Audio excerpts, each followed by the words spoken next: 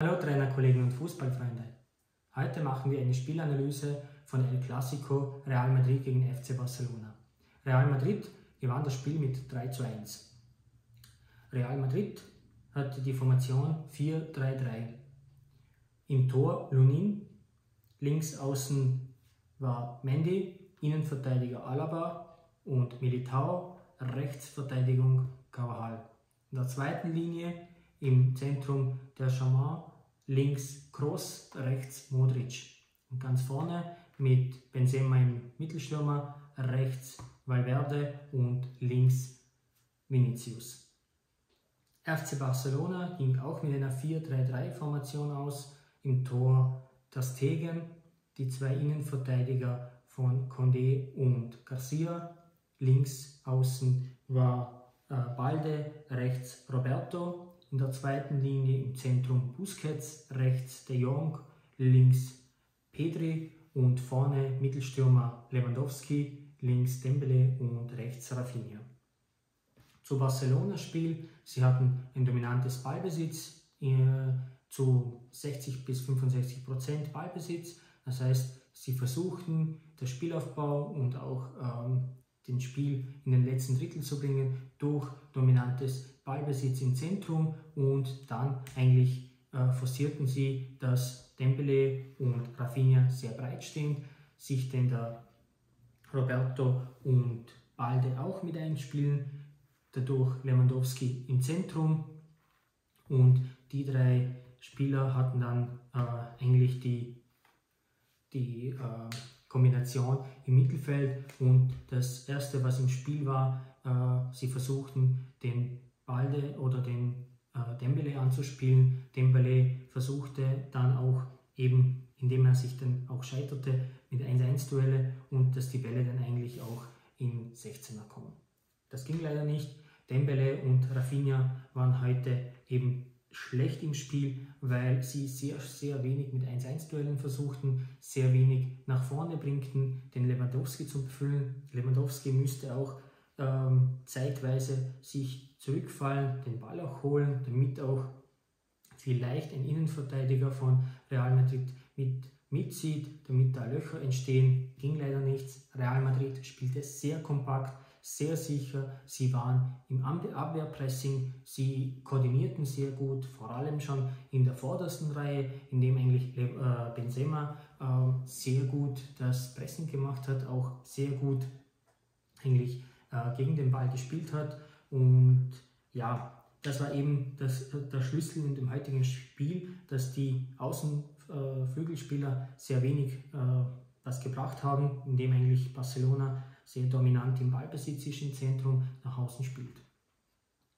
Äh, was auch noch äh, bemerkenswert war, ist, wenn Ball im Zentrum war von FC Barcelona, dann äh, stellten sich ja die rechten und die linken Flügel sehr breit. Die Außenverteidiger gingen auch mit, zum das Spiel sehr breit machen, damit auch Real Madrid sehr auseinander geht.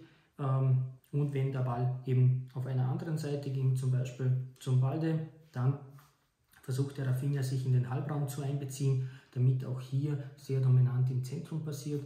Äh, Rafinha, äh, Roberto ging auch gleich nach oben ähm, ja, das funktionierte nicht sehr. Eigentlich konnte man da ja eigentlich ähm, durch im Halbraum spielen und wieder in äh, Schnittstellenpässen, dass eigentlich der Roberto ja die Bälle bringt zum Roberto, äh, zum Lewandowski, ähm, aber es klappte nicht. Zum Spiel von Real Madrid. Sie spielten ein Abwehrpressing, sie warteten auf den Gegner, sie lassen ihn dominant spielen, wie ich schon gesagt habe, Ballbesitz.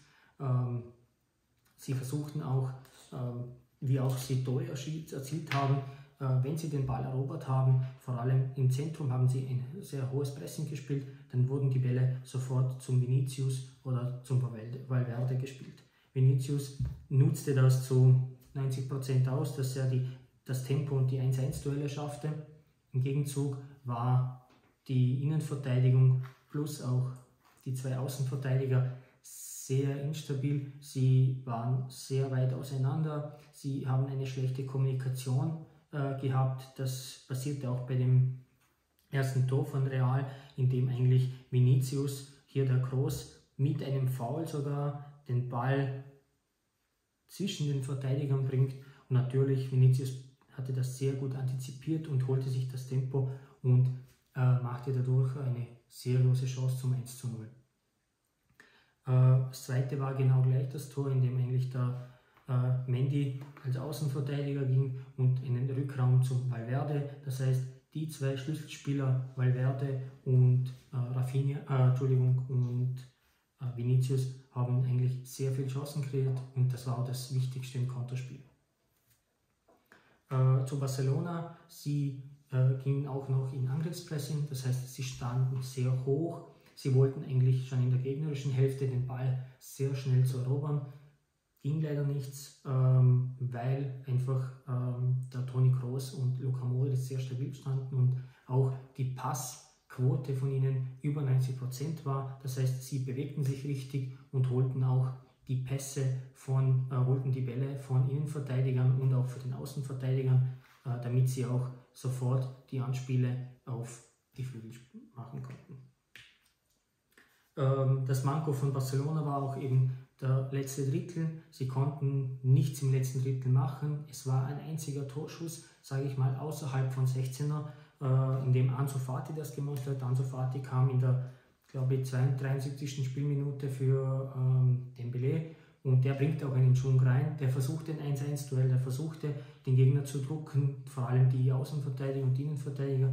Er, schaffte das auch, äh, indem er eigentlich äh, einmal von ungefähr 17, 18 Meter einmal aufs Tor schießt und wie auch da klassisch ein 1-1-Duell gewann oder quasi auch ein 2-1-Duell und perfekt eigentlich hineingespielt hat, wo der Torres auch schon an der Verlängerten stand und der, der Lewandowski ähm, hierher und da war der Torres und da ging dann das 2 zu 1. Und da sah man, wo der Ansu Fati äh, eingewechselt worden ist, dass ein Tempo kommt, dass man da was will, dass man da ein Dribbling sucht und das, das braucht eigentlich Barcelona in dem ganzen Spiel. Und das war leider zu spät. Vielleicht hätte ich den Fati auch äh, früher gebraucht. Ähm, was noch zur Frage stand, war das ein Elfmeter von äh, Real Madrid für Barcelona Schreibt kurzer Kommentar, wenn ihr die Meinung auch seid. Für mich äh, war das äh, eine Fehlentscheidung.